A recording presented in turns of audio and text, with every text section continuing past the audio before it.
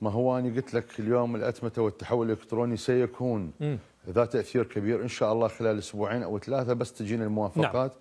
سيكون التقديم على الوكالة ومحاسبة الوكالة واستيفاء الأجور من الوكالة وضبط عمل الوكالات كلها إلكتروني لا يوجد تدخل لا للوزير ولا للغفير.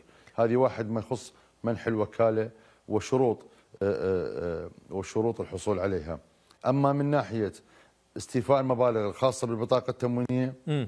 حقيقة الحل هو باكتمال الأتمتة والتحول الإلكتروني لتوزيع الحصة التموينية. سيكون مؤشر لدى وزارة التجارة كل مواطن استلم الحصة أم لم يستلم ويكون الدفع الإلكتروني لا يمكن للوكيل الحصة التموينية أن يتحكم أو يطلب إكرامية أو زيادة عن ذلك. وستكون وزارة التجارة حاضرة في أن توفر المبلغ الدعم والسماحات المطلوبة للوكيل بالشكل المعقول وتوفره باعتباره أنه هو مواطن ويؤدي خدمة عامة. كل هذا محسوب حسابه لكن نحتاج وقت حقيقة معالجة هذه الملفات والتحول آه، آه، آه، الكبير في الأداء ونوع الخدمة.